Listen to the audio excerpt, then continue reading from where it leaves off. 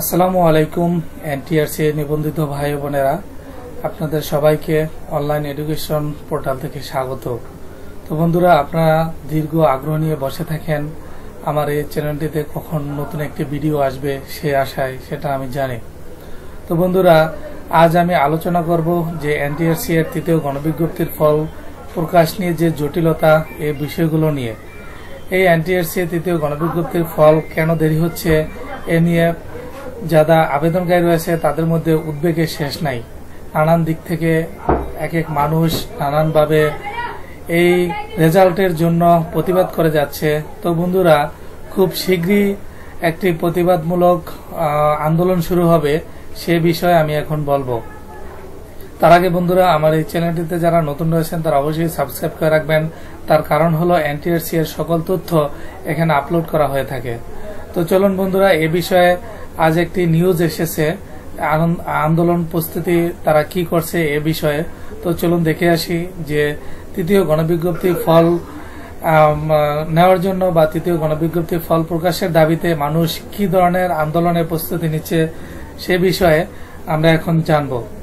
তো চলুন বন্ধুরা, ঢাকা পোস্ট এই নিউজটি করেছে আজ এগারো জুলাই দু হাজার একুশ।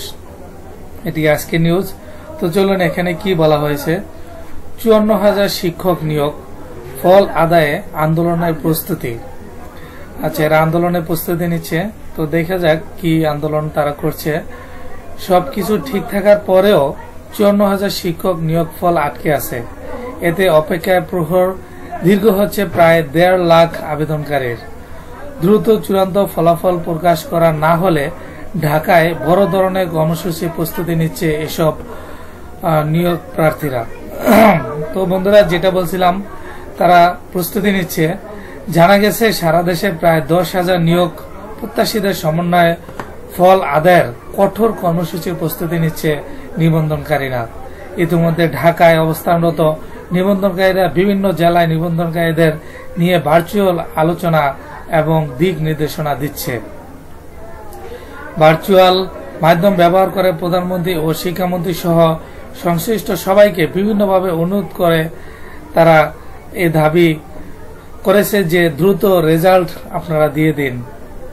এখন তা কোনো কাজে না আসলে কোন রকম জটিলতা না থাকা সত্ত্বেও ফল প্রকাশ হচ্ছে না। এনটিআরসি এর এভাবে বিভিন্ন মুঠোফোনে অজুহাতে হাজার হাজার বেকার নিবন্ধনকারীদের কষ্ট দিচ্ছে। তাদের জীবনের দুর্বিষহ করে তুলেছে। যা অমানবিক ও নিষ্ঠুর ছাড়া কিছুই নয়। প্রধানমন্ত্রী ও শিক্ষামন্ত্রীর কাছে এর সমাধান চেয়েছেন তারা। তো বন্ধুরা, নিচে আরও কিছু কথা বলা হয়েছে, সেগুলো আমরা একটু খেয়াল করে দেখি। এখানে বলা হয়েছে, অনেক ক্ষোভ প্রকাশ করা হয়েছে বলে বলেছেন, এর ফল দেয়া হোক বা না হোক, তাদের মেরে ফেলা হোক।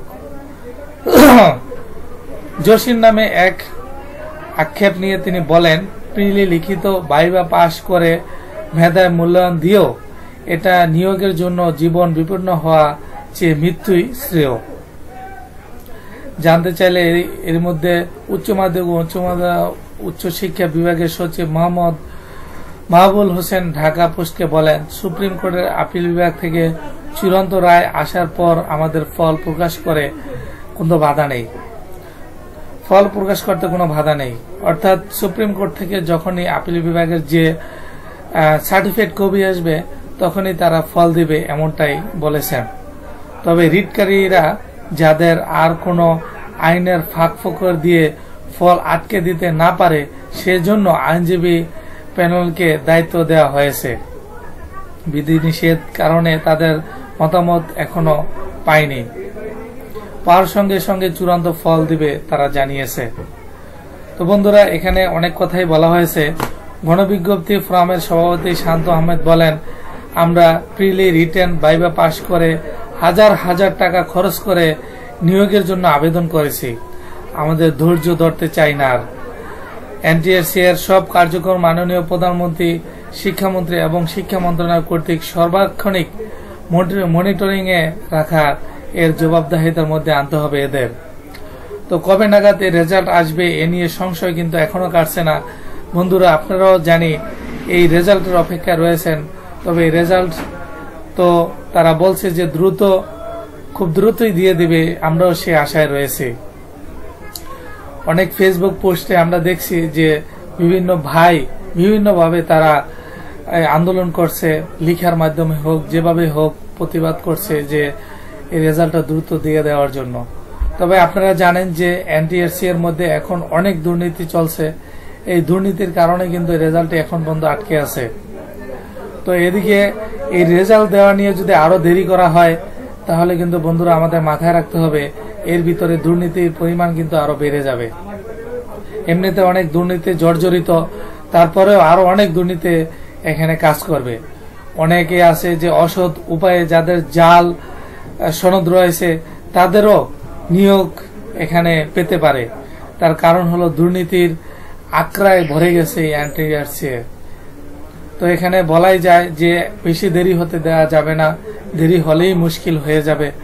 তো বন্ধুরা, আমরা যদি যে আন্দোলনে ডাক দিয়েছে, এই আন্দোলনে অংশগ্রহণ করি, তাহলে হয়তোবা এর সঠিক ফলাফল আমরা পেয়ে যাব।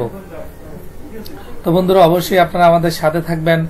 আমার এই চ্যানেলটির সাথে থাকবেন, যাতে করে আমরা সঠিক এর সঠিক মূল্যায়নটা পাই, যারা আবেদন করেছি, যারা আমরা এই আন্দোলনে আছি, যে যার যোগ্যতা অনুযায়ী যেন এই সঠিক তৃতীয় গণবিজ্ঞপ্তির ফলাফলটা দ্রুত যেন আমরা হাতে পাই, আমরা এই কামনা সবসময় করছি। তো বন্ধুরা, আজ এ পর্যন্তই। আমার পরবর্তী ভিডিও দেখার জন্য আমন্ত্রণ রইল। আল্লাহ হাফেজ।